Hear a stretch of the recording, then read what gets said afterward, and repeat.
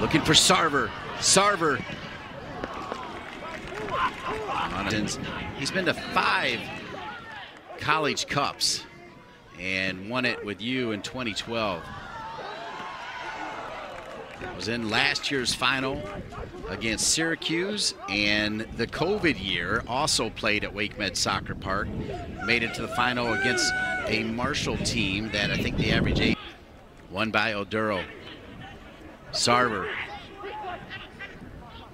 Beebe's made a run. Henderlong taking a shot, back on his right foot this time, and is picked up there and didn't play. Bacharach using his body. Little flick from Henderlong. Sarver's down. Mahalik. Good closeout there by Wayman and Mahalik was in. This was a beautiful combination by Indiana. Great flick on from Henderlong. Great little sneaky run from Mahalik. He does the hard part with this touch right here. The touch was the hard part. It was just getting the final touch of the finish in, which he clearly pushes. Oh, he did. enough. he could have just snuck it almost right to the left-hand side of Wayman. So he opened up his hips just a little bit too much, but I've been very impressed. Send it in with that left foot. Knocked down. Sarver. Sarver can slice. He can dice. Sent across and picked up by Wayman. Looked like Sarver just could have picked up his head. He did a great job getting end line. This, he's really good with his hips on just shimmying it right through. Maybe he was looking for Brett. Game time decision on whether it would be Sun or Weiss. Shot from distance and arms.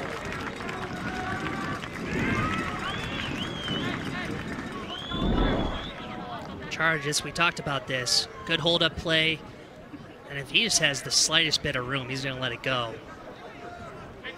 Can't get over it enough, but we've seen him do this this year. Give this guy the slight. Weiss, took a knock a couple games ago, seven goals and seven assists to lead the Big Ten. And Weiss all really was close to getting his eighth assist right there. That was a really good ball. Instant impact. Jeez, tell me about it. Great. On the Offensive Player of the Year. And, and with Sarver getting hot as well, he's throwing his name into the middle of that. Little flick and a perfect flick. A wonderful throw in. What a weapon to have with the wind. And then the finish for Northwestern. Nigel Prince with his first goal for the Wildcats. That's your center back. And it's Northwestern 1, Indiana 0. The long throw and the perfect backflip. Well, what's so funny about this is they had an opportunity to collect it earlier. They decided to take another long throw in, and this is the reason why. Absolutely perfectly drawn up play. Can't be executed better. Nigel Prince does a wonderful job at getting his body in front of the people. The foot is on the line, so that should be fine there. And it's just funny that Northwestern decided to elect to have the ball go out. I mean, put it in perspective for me, dudes. After we see this play here, Oduro, Bacharach, Bacharach takes a rip. We do go behind them, but we're trying to get some guys out wide and some scoring positions coming on their dominant foot.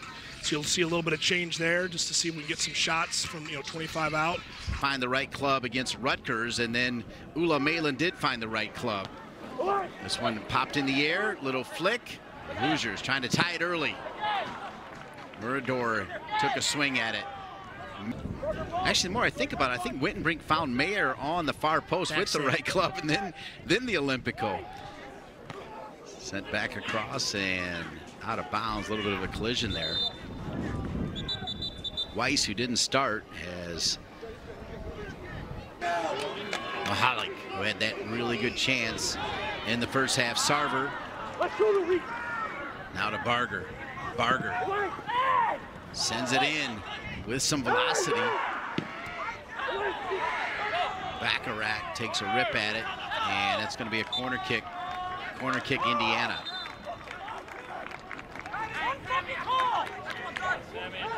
Indiana So it's a good ball in. Northwestern's are asking for the high kick. I'm not sure if I agree with that. And this is hard to tell. Is it look? fans down in the corner behind Barger. Here it comes, whipped around and side netting. Sarver. Good ball into space. Indiana, Mahalik on the far post. Mahalik headed away by Northwestern. Great track back by the Wildcats. That's Obede with the clearance.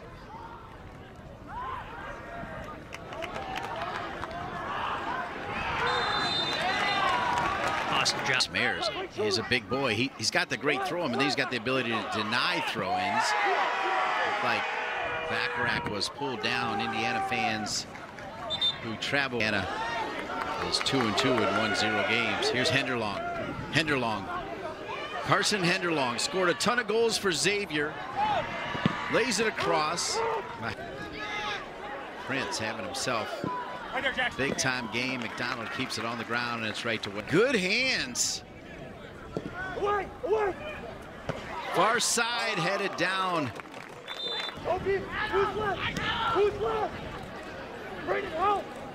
Sarver. Sarver, quick release. Becerra. Miller. Back in far post, but it's gonna leak too far. He's gonna drop it to Miller. Miller, good angled ball down near the end line. It'll be a corner kick, Indiana. That's the type of stuff. That's just that's just really good movement between your center back and right back. Look at Beebe.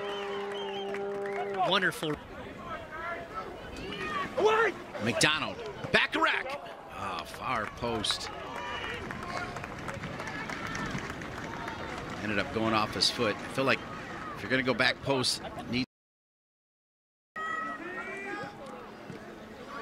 And Northwestern knows that, hey, we've done it now for 75 minutes. Can we do it for 15?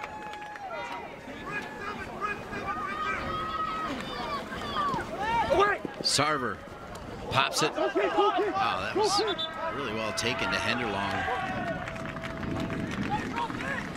Henderlong just jumped us just a second too early. Yeah, timing just a little bit off, right? By the time field. D-back. Wonderful timing by him. Here we go. Indiana is in.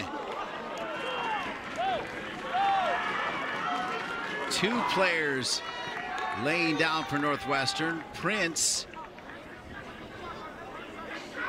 youth scene, Cammy and McDonald. I think that may have gone off the. See where McCamey puts this, and then let's be ready for a. Yeah, Harms is going to want to get going. He wants that ball and he wants to release it. See what Indiana can do with this flurry. They have been all over the Wildcats looking for it. That was Becerra and McCamey. That man knows how to clear a ball. There's one. Second one, the referee kind of gets in the way, sent back the other way, and headed out of bounds. And how about the Northwestern Wildcats at home? As that man right there with truly a special game, Nigel Prince, first goal of his career, solid defensively, and 10th win this season, most since 2013. Northwestern 1, Indiana 0.